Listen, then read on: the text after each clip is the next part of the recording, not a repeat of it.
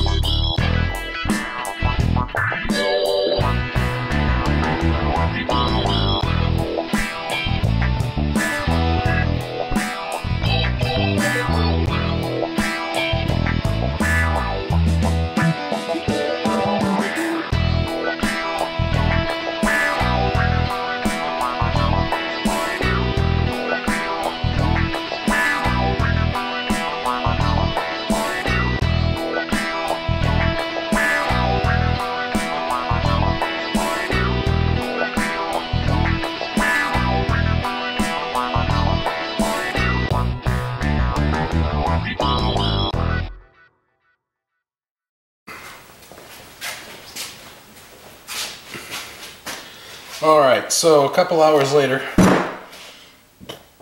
this thing was as much a pain in the butt to me in death as it was while it was in, while it was working in my house or trying to work anyway. So, um, you can see down there we've got a bunch of steel light iron, and this is hard to point Right over there, I've got some uh, cast aluminum, uh, several pounds of it. And down here, alright, we've got this thing which I haven't figured out what the heck it's made out of yet. Uh, it's not magnetic, so I tried scratching it and I'm not getting any other colors besides white under it. So maybe it's stainless steel? Don't know. So, we've got uh, a little bit of copper here. Not a whole heck of a lot. Uh, but hey, copper's copper. We've got a bunch of brass. So, this whole pile here.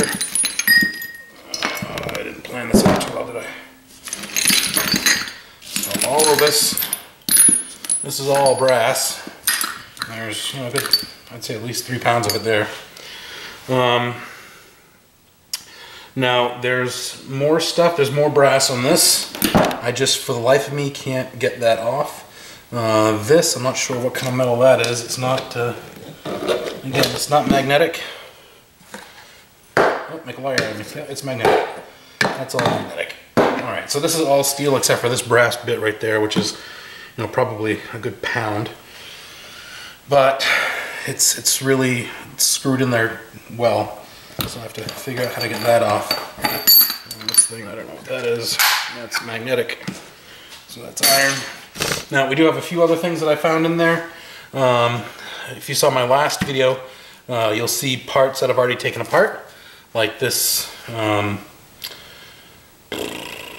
valve actuator. So we saw there's you know some copper in there. We've got this pump, which I've already taken apart in the previous video. It's gonna be more copper, cast aluminum than that. Uh, there was this thing on the end, which has got a little bit of copper in it as well. And one of these doohickeys. Um, it's some kind of valve piston thing.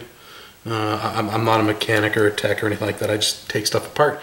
So uh, I can tell you that inside of these things, there's going to be spools of copper.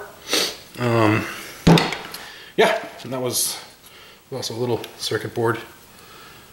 Much on it at all. And a transformer, which is encased in resin. So I'm not going to try and take that apart. I'm just going to sell it to the scrapyard as transformers, which they don't really pay a whole heck of a lot for. Uh, another thing that I found that I thought was kind of cool was this uh, ceramic heating element. I hope it's ceramic, not asbestos. Um, but it's got um, aluminum all around it.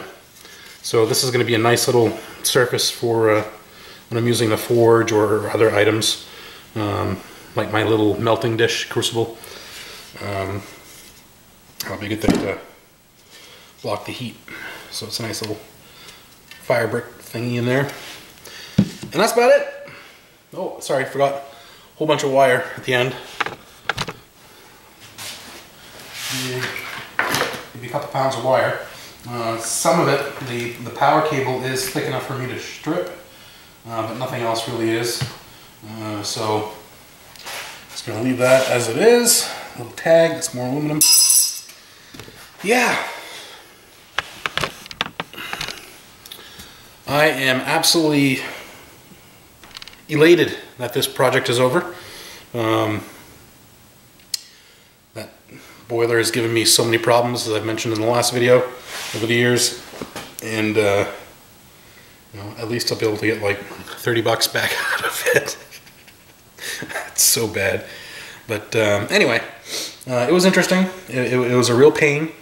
Um, I mean, a lot of these fittings are put on there to be you know, really tight. Um, and there was a lot of crud in the system. I mean, black stuff coming. I mean, it was a propane system, and you got black stuff coming out of it like that.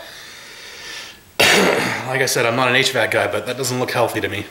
Um, and you know, there's rust everywhere. Which, looking through the whole system, I have no idea where the rust is coming from because none of the components inside were rusty or really made out of any kind of you know iron that would that showed any kind of um, oxidization, but it was there, so that's what was screwing up a lot of the pumps. But anyway, so that's that. Uh, nice little project. It's done. It's over with. I got a few bucks out of it, and uh, I hope this was mildly entertaining. It's actually something new, something I haven't scrapped before. With over 350 videos, is getting harder to uh, come up with original content, but this did it. So thanks for watching. Make sure you comment, like, subscribe, share, hit that bell, do all that great stuff, and I will see you on the next one.